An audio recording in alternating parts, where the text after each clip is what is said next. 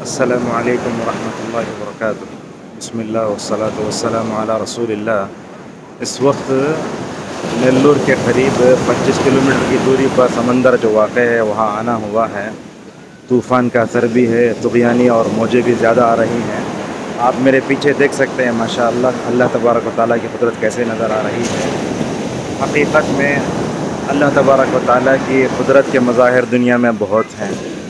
لہذا اللہ تبارک و تعالیٰ نے سمندروں کو پیدا فرمایا اور سمندر بھی ساتھ بنائے، جیسا کہ اللہ نے فرمایا، اگر سات سمندروں کو سیاہی بنا لیا جائے اور سارے درختوں کو قلم بنا کر اللہ تبارک و تعالیٰ کی اسماء و صفات اور تعریف لکھنی شروع کی جائے، تو سمندر ختم ہو سکتے ہیں اور درخت بھی ختم ختم ہو سکتے ہیں، مگر اللہ تبارک و تعالیٰ کی تعریف ختم نہیں ہو سکتی، واقعی ان سب کو مومن جب دیکھتا ہے تو اس کے ایمان میں اضافہ ہوتا ہے ماشاء اللہ اللہ اکبر۔ سمندر کی موجیں، سمندر میں طغیانی اور یہ پانی اللہ نے جو بنایا ہے، واقعی اللہ کی بہت بڑی قدرت ہے۔ دنیا کتنا بھی ترقی کر لے، مگر پانی کی قدرت کا کوئی مقابلہ نہیں کر سکتی۔ اللہ تبارک و تعالی ہم سب کو کائنات میں اللہ کی جو نشانیاں ہیں، ان میں غور کرنے کی توفیق عطا فرمائے۔